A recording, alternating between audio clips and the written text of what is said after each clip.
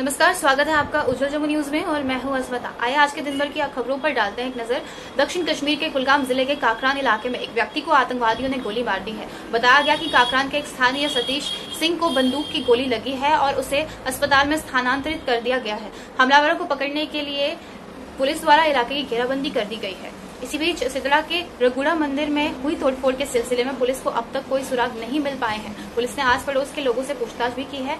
इसी को लेकर भाजपा नेता देवेंद्र सिंह राणा ने मंदिर का जायजा भी लिया था और उन्होंने स्थानीय लोगों से बात की और उनसे घटना के बारे में जानकारी हासिल की। उन्होंने पुलिस अधिकारियों से इस मामले के आरोपियों की पहचान कर उनकी जल्द गिरफ्तारी की मांग भी की थी।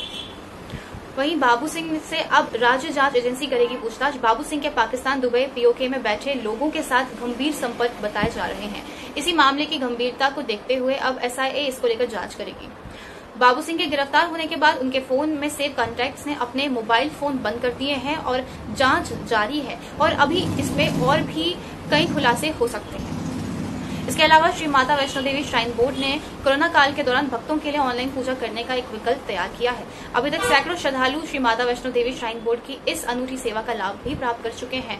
इसके लिए श्री माता वैष्णो देवी श्राइन बोर्ड की वेबसाइट पर जाकर लोग घर बैठे ऑनलाइन पूजा करने की बुकिंग करवा सकते हैं और अपना घर बैठे प्रसाद भी हासिल कर सकते हैं। इसी बीच माता वैष्णो देवी के यात्रियों के लिए जल्द कटरा और अर्धकुवारी के बीच रोपवे की जाएगी। इसके साथ ही दुर्गा भवन थीम पार्क और R F I D tag सेवा को भी जल्द शुरू करने की तैयारी की जा रही है। इसी को लेकर उपराज्यपाल मनोज सिन्हा की अध्यक्षता में हुई बैठक में कई अहम फैसले भी लिए गए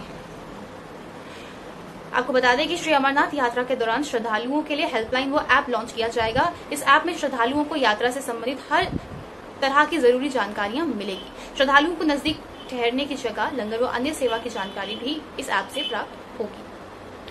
वहीं 24 अप्रैल को प्रधानमंत्री जम्मू कश्मीर में और निवेशकों को आकर्षित करने के लिए 28,400 करोड़ के औद्योगिक पैकेज को बढ़ाने का ऐलान कर सकते हैं।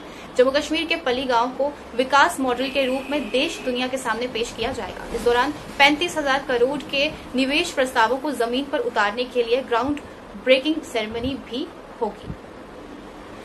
इसी के बीच आप तमाम जानकारियों के लिए जुड़े रहिए उज्जवल जम्मू न्यूज़ के साथ और मुझे लीजिए इजाज़त।